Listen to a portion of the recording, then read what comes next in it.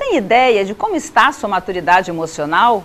Você se prende a picuinhas e troca sua tranquilidade por coisas irrelevantes? A inteligência emocional é o novo critério de avaliação em boa parte das corporações. E a nossa coluna hoje vai dar dicas de como aprimorar essa habilidade tão rara que pode ser treinada pela ginástica cerebral.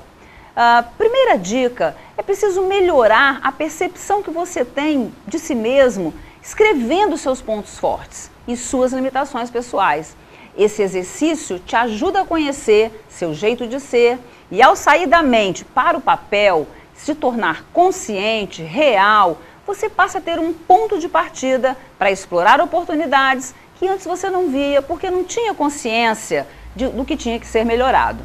A segunda dica é prestar mais atenção em como as emoções afetam seu desempenho e, a partir disso, proteger essa emoção. Por exemplo, evitando exigir o que os outros não podem dar e doar sem esperar demais o retorno, usando seus valores como base para guiar as tomadas de decisão.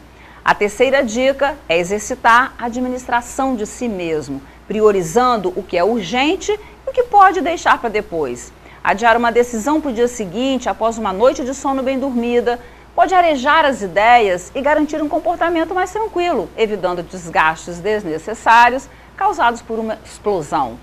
Com esse exercício, você poderá inclusive descobrir que algumas coisas nem são para você resolver e é mais inteligente deixar para lá.